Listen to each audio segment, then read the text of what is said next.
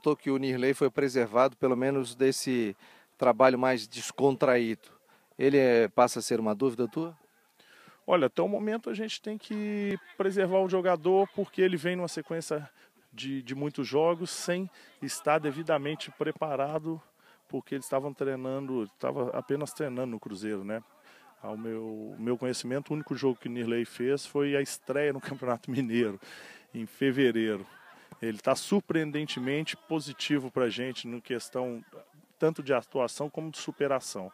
É um jogador que, de certa forma, preocupa, sim, porque ele, ele já vem se superando fisicamente nesse sentido e clinicamente. Agora a gente fica na mão do doutor, aguardando para o ok dele poder enfrentar o Icasa amanhã. É uma lesão aí é, que o jogador tem, ou pelo menos um desconforto que fica em tratamento até para definir se joga ou não.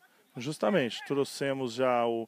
Já perdemos o Diego pelo terceiro, trouxemos. É, já vimos com Douglas e trouxemos para compor esse, esse setor aí o, o o Gucci, é, caso o Nirley não tenha condição, não reúna condição até o momento do jogo, colocamos o Gucci sem problema nenhum, já fez várias partidas também, um jogador que está super bem treinado e a gente tem que dar moral para ele, para que ele possa impor o futebol dele e nos ajudar nesse momento importante. Eutrópio, com relação à lateral direita, eh, você botou o André Rocha no último jogo e o William vinha jogando. Qual é a tendência? Eu fiz muito essa opção observando os três, quatro últimos jogos fora de casa que nós fizemos com o Willian. O Willian tem um poder ofensivo muito bom, uma característica totalmente diferente do André. No um contra um ofensivo ele é muito bom, mas defensivamente, até pela própria idade e o pouco tempo que a gente tem de trabalhar, ele vinha apresentando algumas deficiências normais da, da, da idade dele e da característica de ser um jogador ofensivo.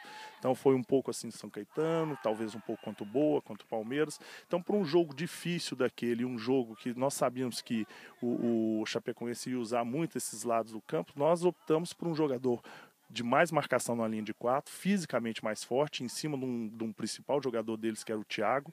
Né? Então, tem essas características que a gente pode usar esses jogadores de formas distintas em campos distintos. Né? No nosso campo, a gente utilizar o William, não estou afirmando isso, mas no fora de casa, usar a experiência e a boa marcação que o André nos traz e a segurança.